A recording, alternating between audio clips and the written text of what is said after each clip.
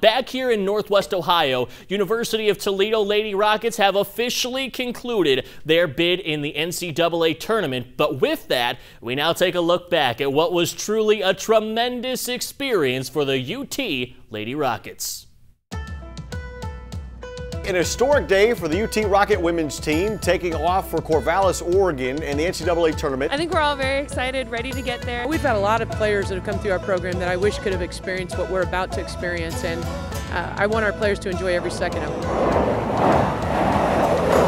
I think it's good that we've coaches have, um, we're travelling ahead um, just to kind of adjust.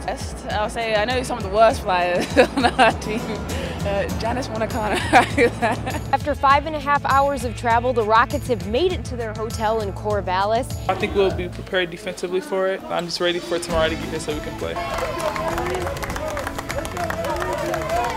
Win or lose, the Toledo Rockets faithful with plenty to hang their hats on as well. Several Rockets fans all the way to the West Coast. We are from Northwest Ohio. Uh, we flew out last night from, from Detroit to Portland.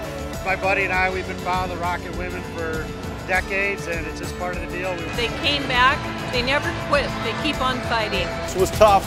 Rockets are headed home, never in it, losing 76-49. We've had games where we've got we've gotten down and been, been able to come back.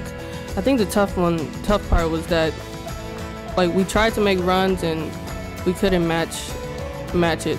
You know, this team has fought so hard all season long and been in every game. And today was just tough, tough, tough pill to swallow because of how hard we fought all season long. I've been pushed my three, four years at Toledo, and there's just no other school I would, would have rather went to. I'm appreciative to everyone that kind of has pushed me, my teammates, um, my coaches. Um, and so I just think that this season's one that, that I will remember forever. I want our seniors especially to know how much they represent our program with class on and off the court. And I am so lucky I got to be their coach.